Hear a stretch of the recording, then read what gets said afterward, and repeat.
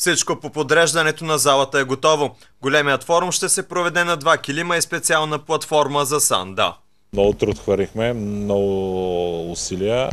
Благодаря на екипите, които работиха. Залата е готова. Мина вече и главните съди.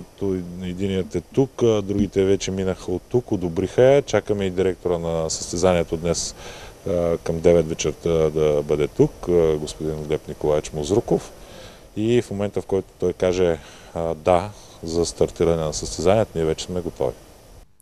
С условията в залата се запозна един от главните съди на шампионата Александър Радунцев, който е главен треньор на националния отбор на Казахстан. Радунцев е съдя международна категория и е бил в кариерата си рефер на 12 световни първенства. Состоятся. На първо място ми е много приятно, че тези състезания се провеждат в България. Аз съм във вашата страна за първи път. Мога да нарека организатора Мануил свой брат. Благодарение на неговата покана към Европейската федерация, тези първенства се провеждат именно тук в Стара Загора. Ние пристигнахме днес, аз пътувайки внимателно разгледах града, който е много зелен, всичко е много красиво, първите впечатления са добри.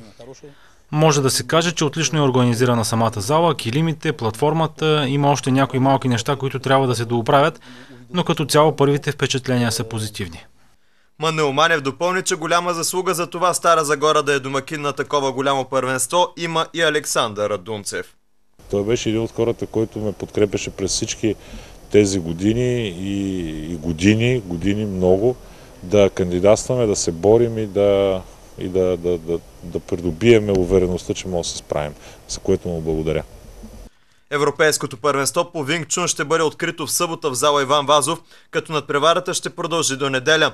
В неделя от 21 часа ще бъде откриването на Европейското първенство по Ушу на амфитеатъра в Стара Загора. Самото състезание на Стария континент по Ушу започва в понеделник и ще продължи до петък 22 май.